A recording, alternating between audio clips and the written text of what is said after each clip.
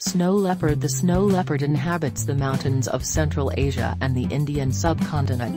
They live on high mountain tops in summer, ranging about 18,000 feet. During winters, when the snow is heavy, they live in mountains ranging about 6,000 feet. Snow leopard has a dense insulating undercoat and a thick outer coat of hair, that is 2 inches long. It has dark rosettes covering its outer coat and its spine is also dark and grayish. Snow leopard hunts mainly at night, and preys on various animals also living in the mountains, such as wild sheep, ibex and marmots.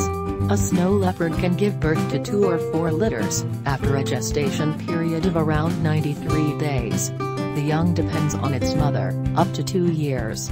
Snow leopards are beautiful creatures of the mountains but several factors resulted in its decline. 1. Snow leopard's wild prey has decreased. 2. Snow leopard prey on livestock, hence they are often killed by herders and ranchers. 3. They are hunted by poachers for the illegal animal trade.